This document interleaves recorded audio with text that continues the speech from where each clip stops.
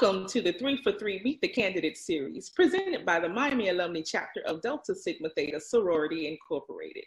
The Three for Three series is being brought to you by our Social Action Committee.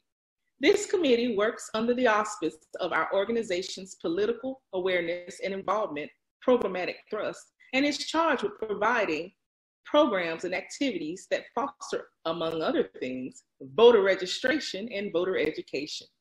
It is imperative to mention that the members of the Miami Alumnae Chapter of Delta Sigma Theta Sorority are not and will not endorse or promote any candidate. To that end, we invite you to watch the Three for Three Meet the Candidate series. This series will offer you an opportunity to preview several candidates running for office in Miami Dade County. In an effort of providing a level and inclusive playing field, we invited all of the qualified candidates running for Miami-Dade County Board of County Commissioners, Miami-Dade Circuit and County Judges, and the Miami-Dade School Board during this 2020 primary election.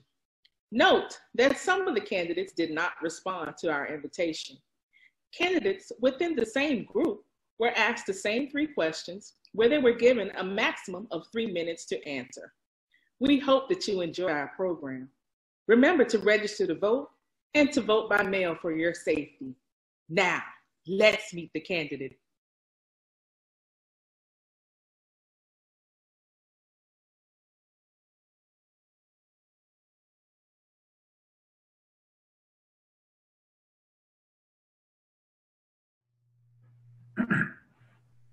Thank you, Regina. Today we have candidate Shaun Spector candidate for County Court Judge, Group 24. Thank you for being with us today. Thank you for having me. Now, our challenge is that we have three questions for you, and you'll have three minutes to answer each question. Are you ready? Yes, ma'am. First question Who are you as a candidate, and what are your priorities? So, I guess I'll give a little bit of background about me. Um, yeah, my name is Shaun Spector. I'm running for County Court Judge in Group 24, Miami-Dade County. Um, I'm originally from New York. I went did my undergrad at the University of Delaware, where I studied biological sciences, and then came down to Miami to attend law school at the University of Miami. I fell in love with the city and wound up making it my permanent home.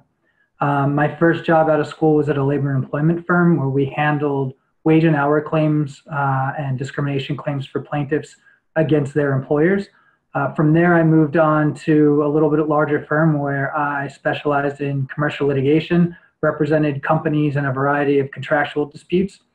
I then had the opportunity to go in house at a financing company. While I was there, I advised on matters of compliance. I managed the legal department and served as lead counsel on all local litigation in South Florida. And then in 2017, I took the plunge and opened my own firm uh, where I currently serve as outside general counsel for a few small businesses in Miami and Broward counties. And I also represent plaintiffs, uh, excuse me, plaintiffs and defendants at uh, various stages of commercial litigation. Um, as far as my priorities go, uh, I want to ensure that everybody who wants or needs to access the court is able to do so.